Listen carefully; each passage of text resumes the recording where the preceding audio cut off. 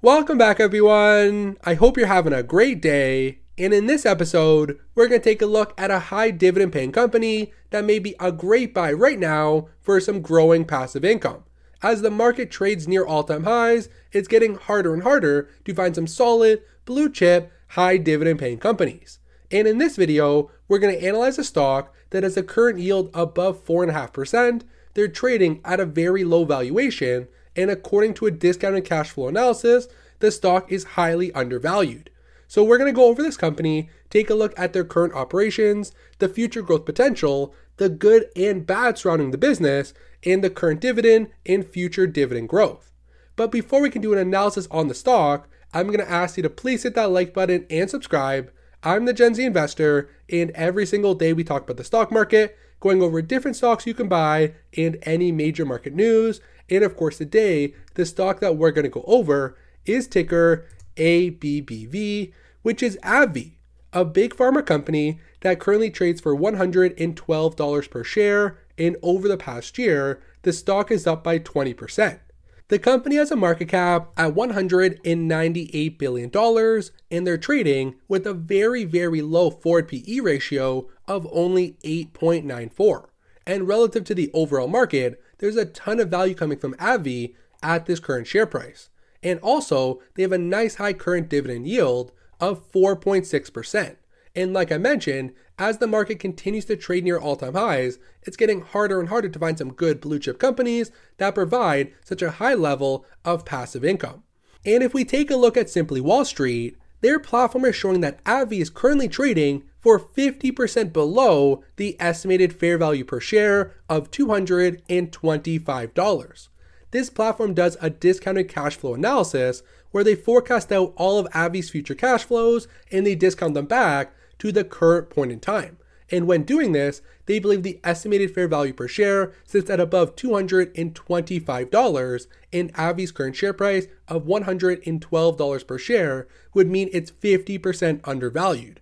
I personally believe these expectations are very bullish. I don't think the company's actually 50% undervalued right now, but I do believe they are trading below the estimated fair value when adjusting the metrics on the DCF calculation. So it may not be as undervalued as this platform is showing, but I do think at this current level, for around $112, even though they have seen a run up as of late, there still is a lot of value coming from this big pharma player. And if we take a look at their latest investor presentation to get an understanding of their current business, they operate and sell products in four main categories immunology, neuroscience, Allergan, and hematology. And AbbVie has a nicely diversified portfolio of market leading products. They have the number one seller across five different consumer categories, and within each, they control more than 50% of the respective market share, which is incredibly impressive. And going forward over the longer term, all five of these categories are projected to grow every single year for long into the future. But AbbVie is not complacent. The company understands you have to continue to develop new products in order to stay on top, and they're doing just that. And two of their drugs that have a ton of potential over the next few years are projected to generate over $15 billion in combined global sales through 2025. So, in four years from now, these two new products are projected to bring in over $15 billion in annual revenue. And that number is only expected to grow in the high double digits for many years after. So, from 2025 to 2030, these two products are expected to generate a ton of sales for AbbVie. And these are not the only two drugs they have in development. Taking a look at their pipeline, they have so many different products in every stage phase one, two, three, and even submitted, they have goods across all six of their different targeted categories. And overall, AbbVie is one of the top research and development firms in the big pharma space. So I think over the longer term, the company will come out with new drugs every year. They're going to get more submitted, more approved, and the overall market will grow and AbbVie products will become a main player on a global scale. And of course, for many investors who know AbbVie's business, you understand that there's one key drug that drives a majority of their revenue that they will be losing the patent to by 2023. And of course, when that happens, that revenue is expected to go down, and we'll discuss that risk later on in the video.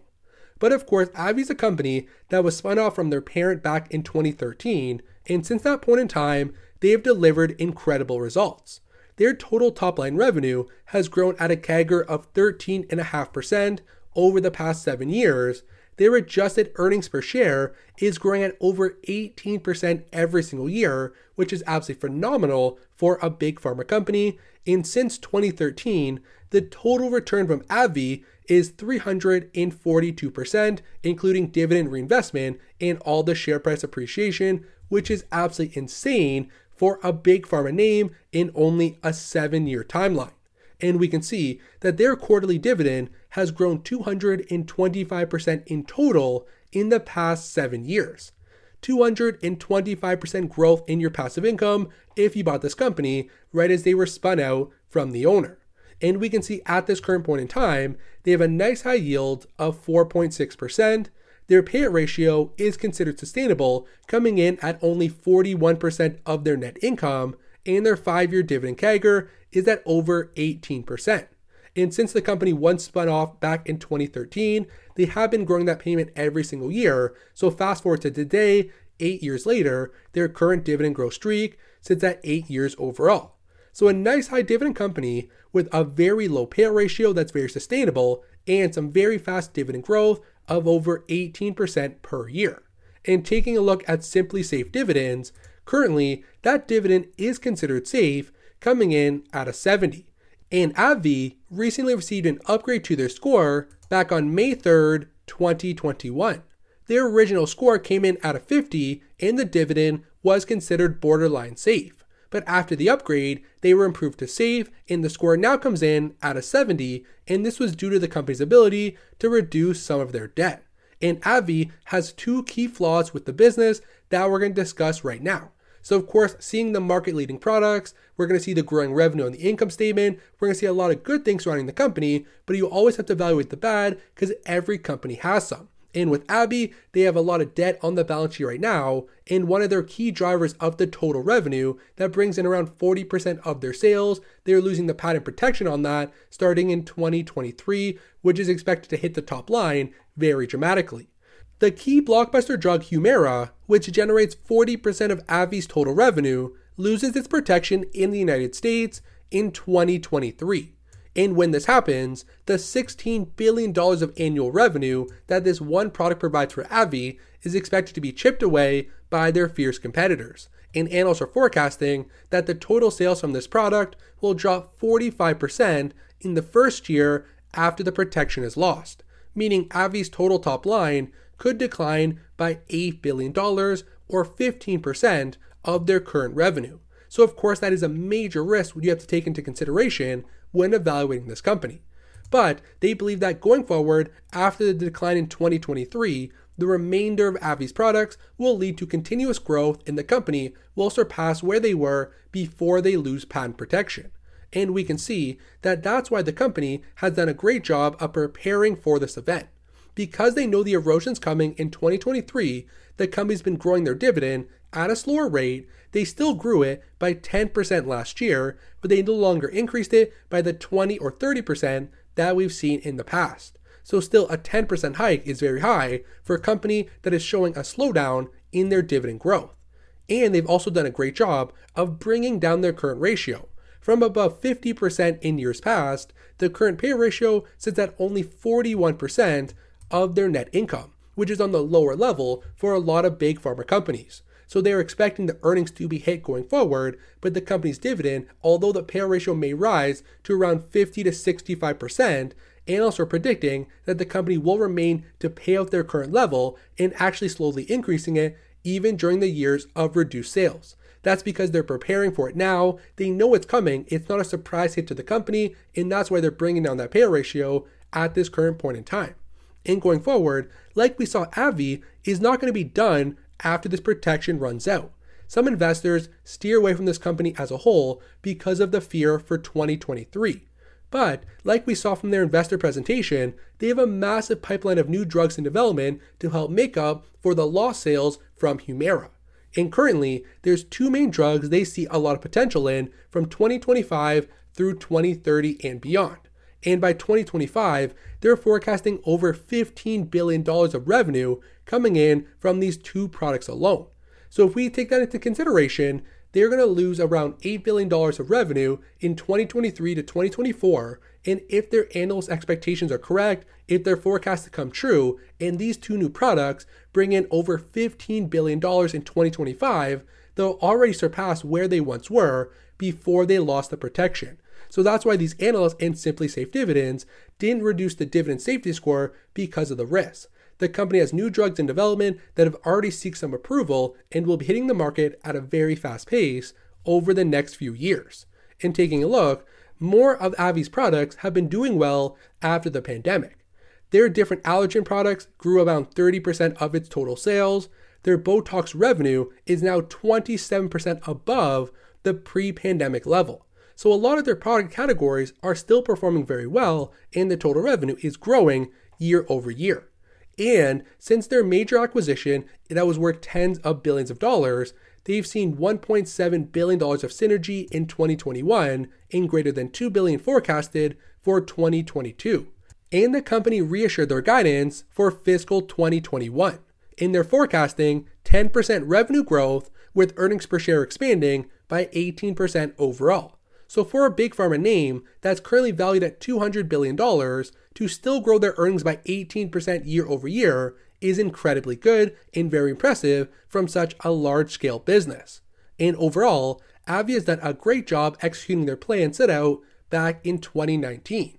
After the acquisition of Allergan, which I believe was a great deal for the company, they have seen their Humira revenue fall from 60% of total sales down to 40. So because they know they're losing protection, they're shifting away from that drug, building up their other product mix, and the total reliance on that one drug has gone down year after year to only 40% of the total revenue.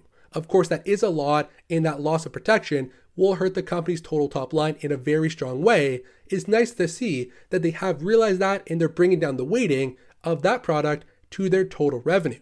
And they've also done a fantastic job of delevering the business in paying down debt and bringing that down to a safer level.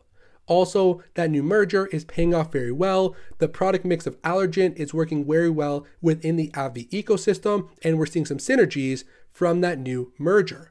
As well, like we saw, the payout ratio has been declined to a much safer level, providing a greater margin of safety, and combined, the company is enjoying solid growth. So, pretty much what they're saying is the fact that AbbVie has done a good job of reducing its debt level, although it's still high, it was much higher before, and that level is coming down. And the company has done a great job of reducing their payout ratio, so the dividend is much safer than where it once was with a ratio above 55% and currently sitting at 41, it leaves them enough room to maintain and grow that current payment, even if earnings see a decline due to the loss of protection in 2023. Plus, they're also showing that they have a nice diversified product mix coming out over the next few years. So when Humira loses revenue because of the loss of protection, their other products in development should help bring back the total sales and set new all-time highs starting in 2024 and beyond. So they believe the company's in a healthier position than where they once were, and that's why they see an upgrade to bring the dividend safety score all the way up to a 70, and it's now considered a safe rating.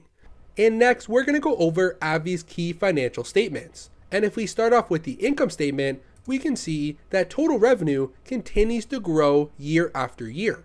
Back in 2016, the company generated $25.6 billion in total sales. Fast forward to today, that number has now grown to over $50 billion in the trailing 12 months, meaning the company has close to doubled their total revenue in a five year timeline. And for a big pharma company, that is absolutely remarkable. A lot of these stocks see flat or very single digit revenue growth year after year, so the fact that AbbVie has seen such a mass acceleration is extremely impressive. And although we are expecting a pullback in the total top line due to the patent expiring in 2023, it just shows that all their other products should be able to keep up with demand and help the company rebound after the big decline over the shorter term. And the fact that the company has doubled their total sales is very impressive and really shows that their other products in their market leading categories, like we saw, can still deliver growing revenue year after year. And if we take a look at the company's bottom line, they're profitable as well, with net income averaging between 5 and 8 billion dollars over the past 5 years. And why this number fluctuates due to different expenses coming in at different points in time. With a research and development based company, some years have higher expenses than others, and net income can fluctuate year over year. But overall, the company does remain profitable with decent cash flow and net income coming into the business. And next, if we take a look at the balance sheet, that of course is where AbbVie does have a lot of weaknesses.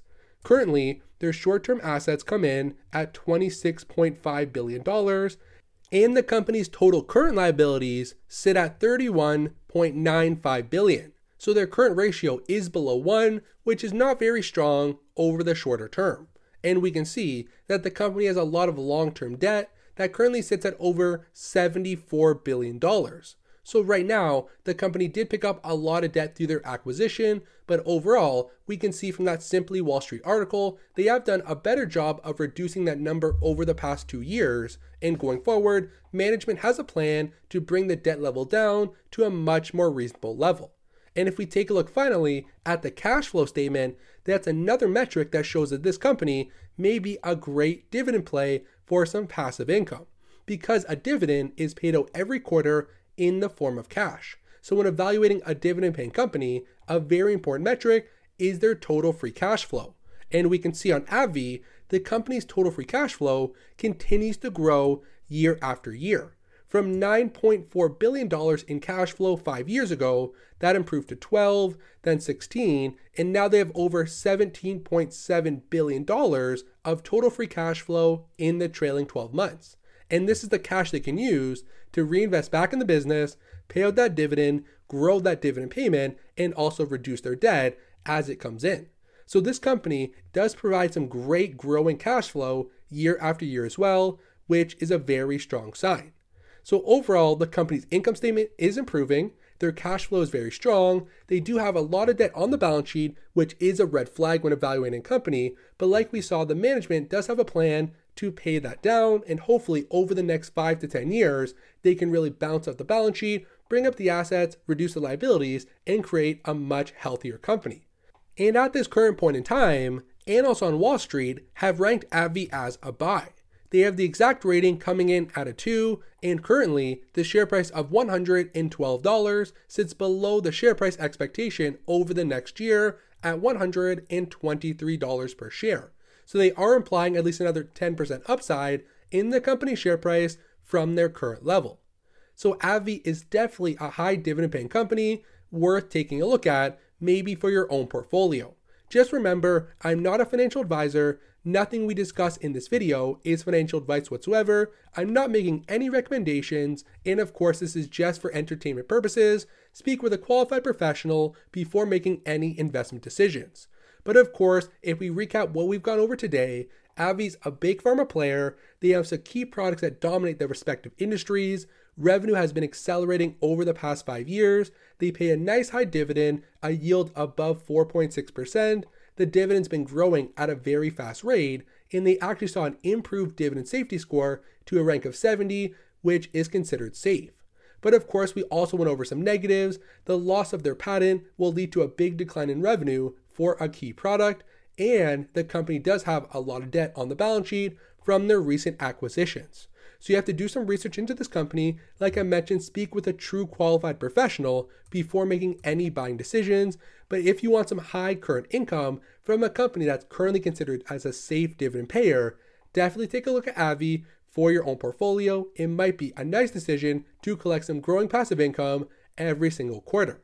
So I want to thank you for watching the video to the end please hit that like button and subscribe, and I will see you in tomorrow's episode.